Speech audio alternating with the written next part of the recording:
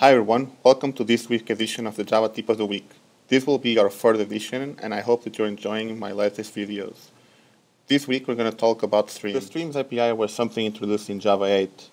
You can think of them as a sequence of elements where you can apply multiple operations like filtering, mapping, ordering, or sorting.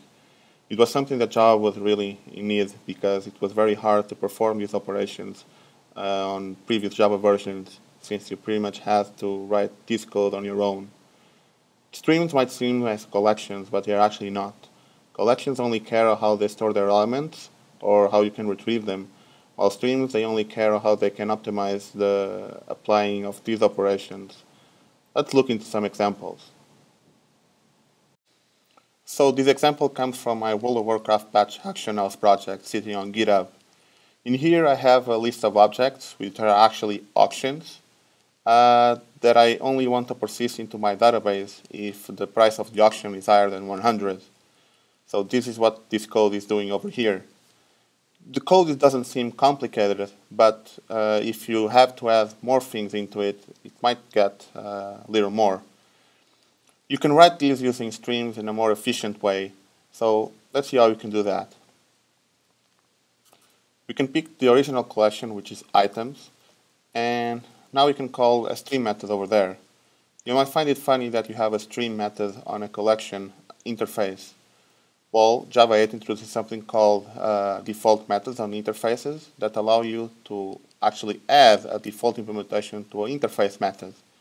So in this way, uh, we'll, uh, Java 8 uh, can evolve interfaces without breaking compatibility with older implementations. I might approach this in a much more detail in a future video. Anyway, uh, calling stream, the first operation I want to do based on the previous code that I had is to map it into an auction. So I will call the method called map. So map receives uh, an anonymous inner class, which is a function uh, that receives the type of the input uh, parameter and then the type of the output that I want to convert. So in this case, it's going to be an auction. Now to convert it, since I know that actually that object is an auction, I can just uh, cast uh, the object to auction, and that's it. Now the cool thing about Stream is that they allow me to chain methods altogether. So map actually is going to return a new stream. This time it's going to be a stream of auctions uh, since I just converted them to an auction. Uh, the first, the next operation I'm going to perform is the filtering.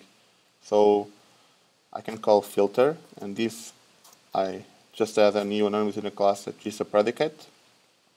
And on the predicate, I can perform the, the a boolean operation, so to filter the elements on this stream. So in this case, I'm going to say return auction uh, get buyout uh, greater than 100 and that's it.